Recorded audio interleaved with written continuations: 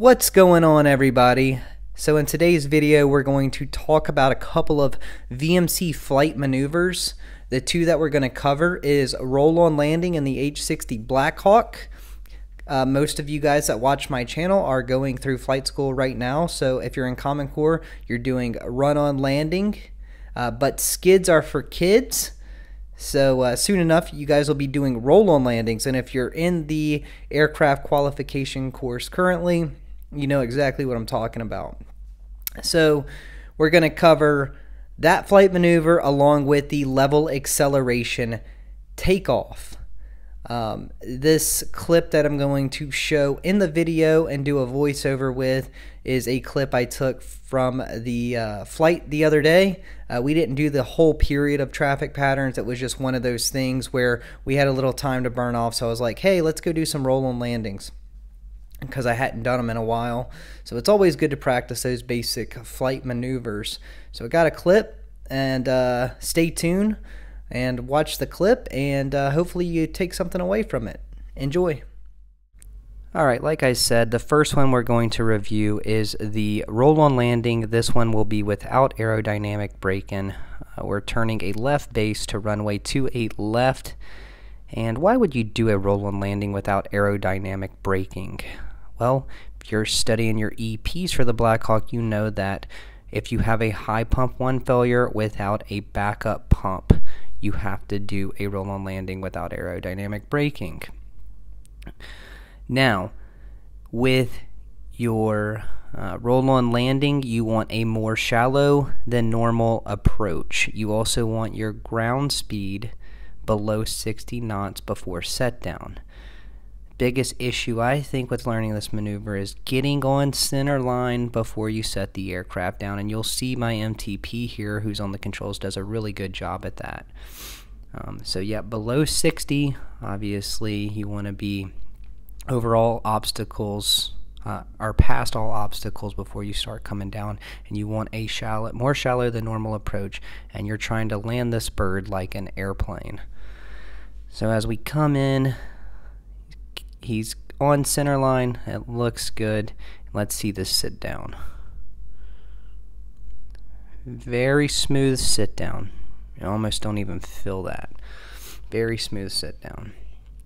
Alright, so we're going to take this maneuver right into a level acceleration takeoff. So why would you do a level acceleration takeoff? So level acceleration is the appropriate takeoff for when your IGE hover power is your max power available. So you're doing an airspeed over altitude. Everybody knows if you get airspeed up, the aircraft is going to want to climb far more efficiently. So you keep the aircraft down in ground effect, just like I'm doing here. Keep the aircraft center line. You're not worried about trim here. You're worried about keeping the tail behind you and the nose and the tail protected.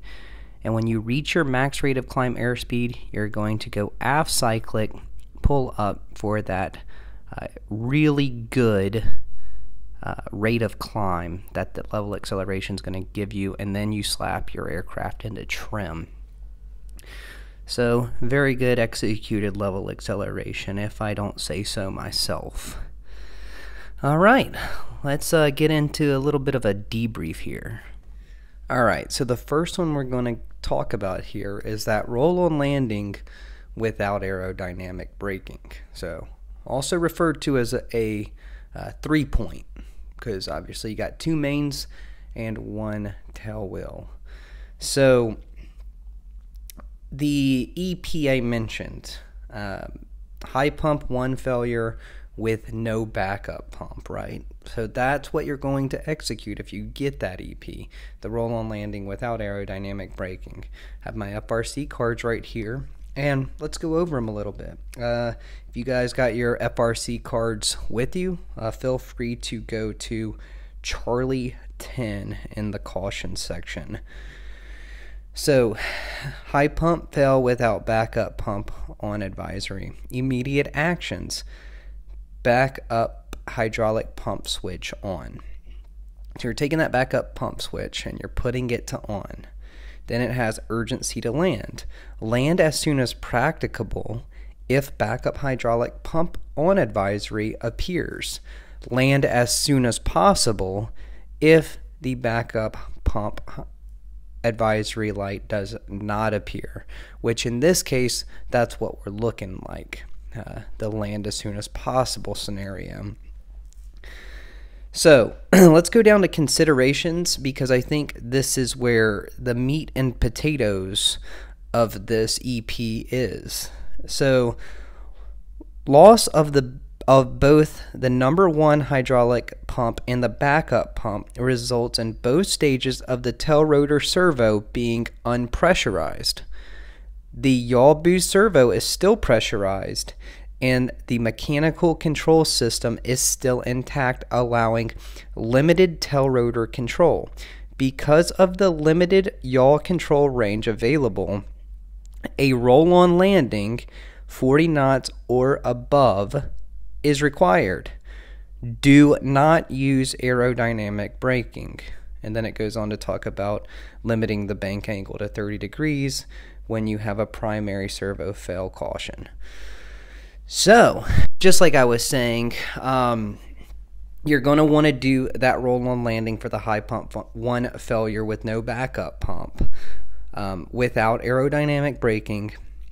You want to keep your airspeed above 40 and you want to keep your airspeed um, below 60 knots ground speed because of the chapter 5 limitation. However, if you have an emergency, it is at the pilot's discretion to uh, to exceed limits if if uh, you need to save lives of the occupants. So if you've set the aircraft down at 61 knots, obviously try to be within the Chapter 5 limit, but the um, survival of the occupants is the primary consideration.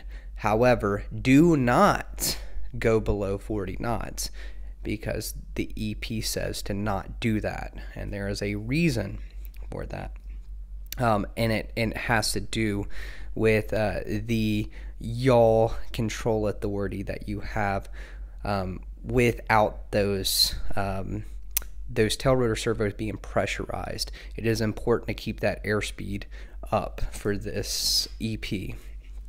Now, talking about the uh, talking about the um, level acceleration.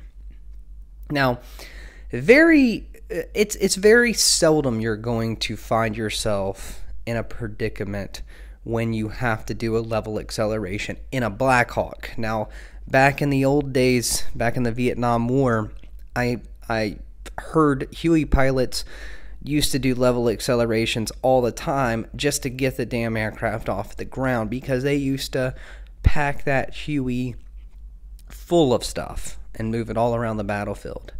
Um, so they were often faced with having uh, just hover power at IGE, and that's what they had to work with. Um, obviously, the Black Hawk has got way more power than the Huey does. Um, is it possible to get into a situation where you have to do a level acceleration? Absolutely, it is. You start uh, increasing the density altitude, you start loading that aircraft down with a bunch of weight, and uh, yeah, you you definitely better have an accurate PPC and uh, have plenty of runway or open field to do a, a level acceleration and get off the ground. Um, one thing uh, that this video doesn't capture, and maybe I can capture it in a future video, is a roll-on takeoff, or, or yeah, a rolling takeoff. So that's when you don't even have IGE power to hover you have to get the aircraft in a roll and get it above a certain airspeed before it will even come up off of the ground. And obviously, that's an even worse predicament to be in uh, when you have max power available being your hover power. Um, so yeah, like I said, you, you start increasing the density altitude, you start loading that aircraft down. You might get yourself in a situation where as a pilot, you have to make a decision like, hey, this is an important mission. We have to get these people out of here or we have to get the supplies to this unit and we have no choice but to do this level acceleration, get this airspeed up. Hopefully we burn fuel off en route so that we can land and we don't have to do a roll on landing just to land. Um, so, yeah. I hope that you guys uh, are able to take something from this video and it be able to uh, give you some good um, information on how to apply it to uh, flight school and uh, becoming a better aviator. Um, stay tuned. I like to. I'm going to try my hardest to post once, maybe even twice a week. Thank you guys for uh, subscribing and supporting my channel. We are above 1,000 subscribers, which is incredible. Um, two years ago, when I started this channel, I would have never guessed that we'd be above a thousand, but we've made it and we are continuing to grow. So, thank you guys so much, especially to those um, who have been there from the beginning. I can't thank you all enough. So, stay tuned. I'll keep the videos coming.